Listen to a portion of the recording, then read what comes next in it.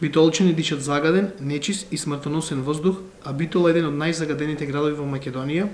со огромни дневни пречекорувања на дозволените концентрации на опасни материи во воздухот. Имајќи предвид дека доаѓа зимски период, кога интензитетот на загадувањето е поголем,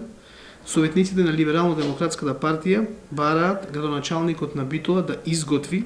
информација за краткорочни и долгорочни конкретни мерки и активности кои ќе ги преземе градот во насока на облажување на алармантна состојба предизвикана од загаденоста на воздухот. Иста да ја достави на Совет и во најбрзо време да започне неизина реализација.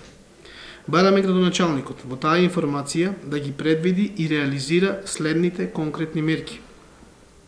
Зајакнување на инспекцијскиот надзор во Битола во насока на намалување на сите видови загадувања интензивирање на соработката со надлежните државни органи,